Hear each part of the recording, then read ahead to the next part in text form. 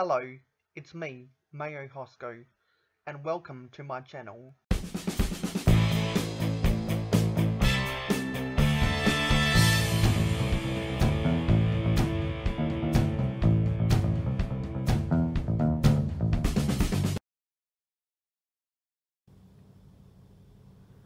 Hello, it's me, Mayo Hosko, and I am happy to report that the LEGO Power Functions battery boxes, like the ones used for the heavy haul train, I can't remember the number, but if I just scroll over here, you can see that this is the heavy haul train is set 60098. I am happy to report that these power functions battery boxes do you are um able to use rechargeable ball batteries. So I'm using these Energizer recharge batteries. And I'm using this Energizer NIMH battery charger that can be used for double A's and triple A's. And you want the proof? If I get my power functions remote control, which I have attached to my powered up remote control with Technic pins. You can see that the wheels are moving. So, for all those that might be scared that rechargeable battery batteries are not comparable with LEGO Power Functions because of they might be a different size or the contacts, the plus and minus contacts might be different with rechargeable batteries. At least if you use the Energizer we recharge batteries, I'm not sure about Duracell, they are compatible with LEGO Power Functions. So just letting you know that you can use rechargeable batteries with LEGO Power Functions. Anyway, this is an information video. Thank you for watching.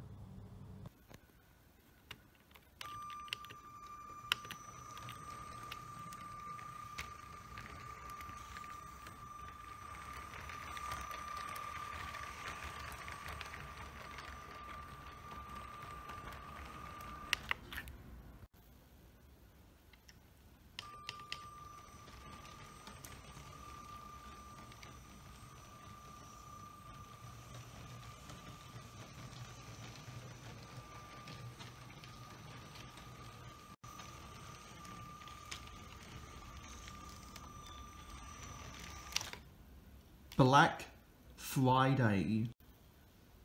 You may have seen this set in a previous Mayo Hosko video, but I found this for 33% off on Black Friday, so I bought another one.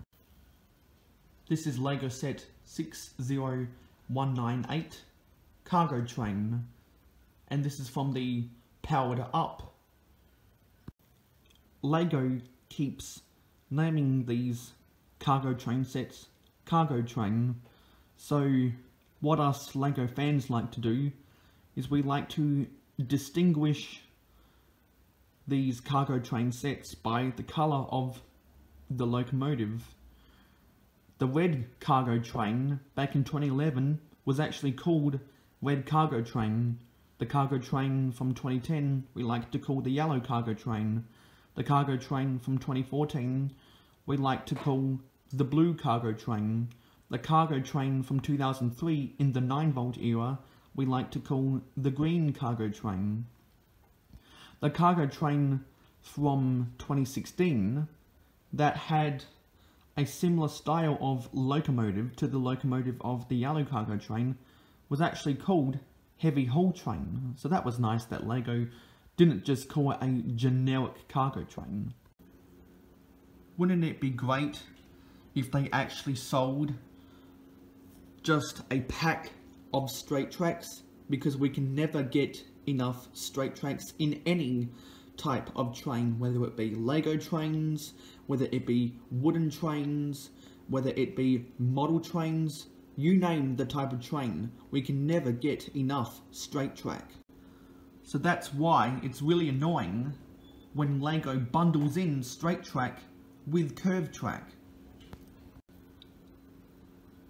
Anyway, despite my grievances against the way LEGO has handled their train theme, by not even acknowledging that it is still a theme anymore and just bundling it in with Lego City, unlike unlike what they used to do in the 80s and the 90s with the 12 volt and the 9 volt trains, where in the catalogues, if you look at the catalogues, it was actually classified as a separate thing.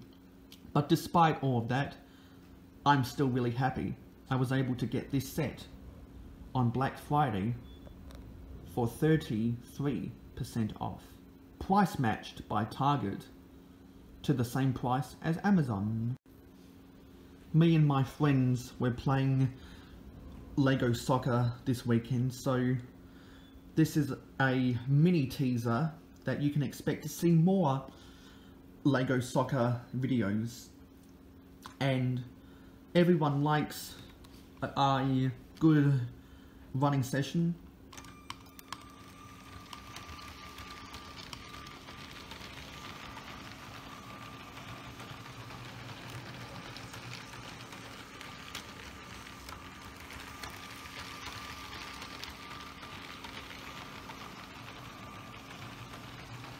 mesmerizing, isn't it?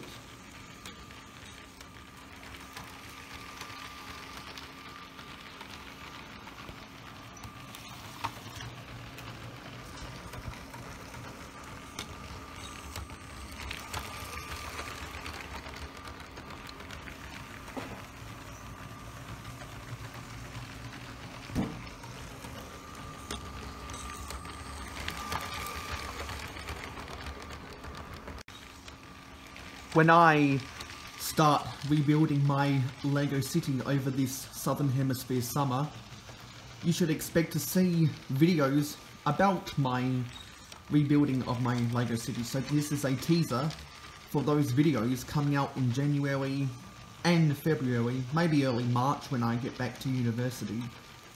But when I go back to university in March, unfortunately there might not be a lot of new content I'll be working on, but I'll be sure to schedule a bunch of content that you guys can watch during March, April, May of 2020 until I go on my semester break.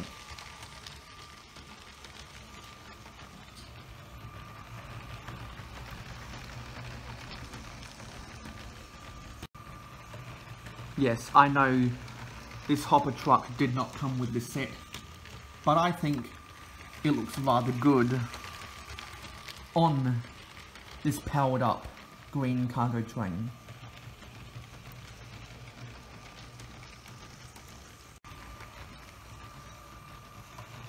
I've also made this train motor on a basis that I will that I will be using to customize for uh, tenders of future MOC steam locomotives and possibly even some short non-bogey diesel shunters. And this is using the power functions. Hopefully I can make more of these in the future so I can have a bunch of these that I can put shells over so look forward to that content. Anyway, there's lots of teasers in this video, and I hope you look forward to seeing those videos in the future.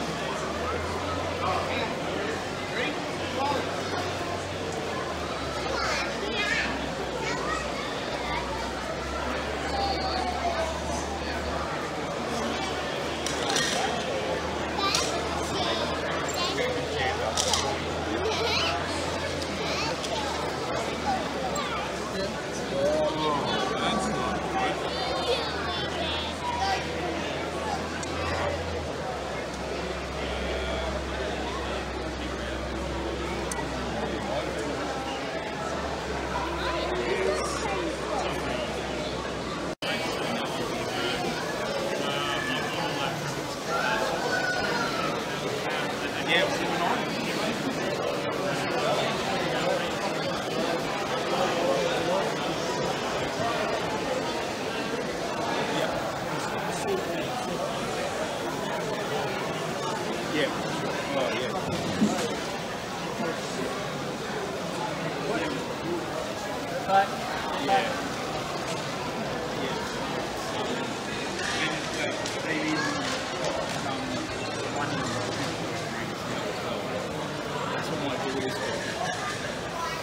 Three and a half and she absolutely loves playing. Yeah. Occasionally set these up and let her go nuts on it. and she'll sit there for hours and just drive them around.